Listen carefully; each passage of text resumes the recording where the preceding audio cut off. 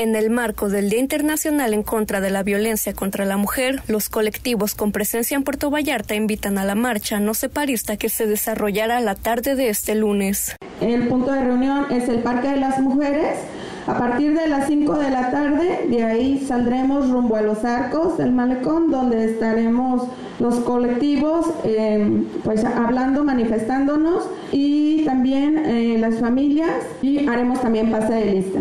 La vestimenta es morada y bueno, es, es mixto, así que están todos invitados. Al llegar al malecón se realizarán pronunciamiento por parte de los representantes de los colectivos y familias que han vivido feminicidios. Al final de la marcha, eh, donde nos congregaremos ahí en los arcos del malecón, pues eh, se darán los pronunciamientos de los diversos colectivos y se le dará voz a las familias que han sido víctimas de feminicidio. Y bueno, pues ahí se, eh, otras colectivas están preparando otras actividades que se llevarán ahí mismo, pero lo fundamental y pues por lo que les hemos eh, convocado es para que nos ayuden a difundir esta información, para que pues, el próximo lunes nos acompañe y que, que pues dejemos o que, que nos sumemos pues a, a visibilizar este esta situación de violencia tan importante que aparentemente pues no no pasa mucho en Puerto Vallarta como lo vemos en las noticias, ¿no? Que de pronto que Sinaloa, que Guanajuato, pero bueno, acá también suceden cosas.